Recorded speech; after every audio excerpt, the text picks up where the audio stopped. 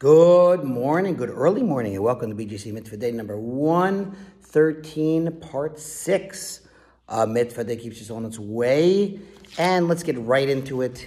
Here we go. This is the amazing mitzvah, the prohibition to eat a mixture of meat and milk, once again found in the second book, the book of Shmos, Parshas Ki Sisa.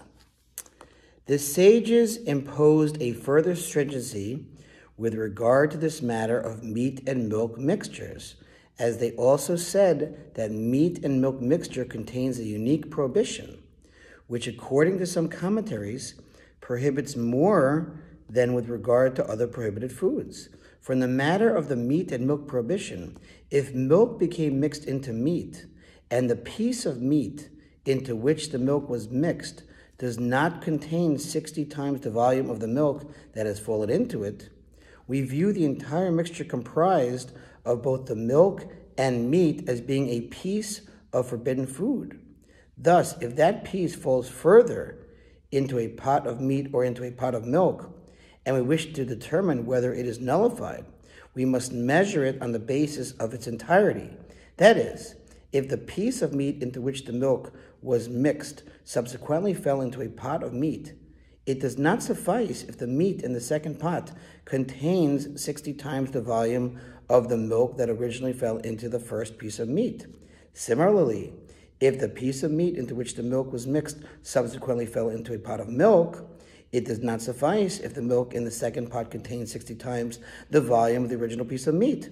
Rather, the entire meat and milk mixture is considered a prohibited entity and the second pot must contain 60 times the entire piece of milk, meat together with the milk that it absorbed in order for it to be nullified. I know there's a lot to handle over here, but I'm getting through it. And this is referred to by our sages of blessed memory in Chulin as the piece itself becomes intrinsically prohibited in the same manner as nevela.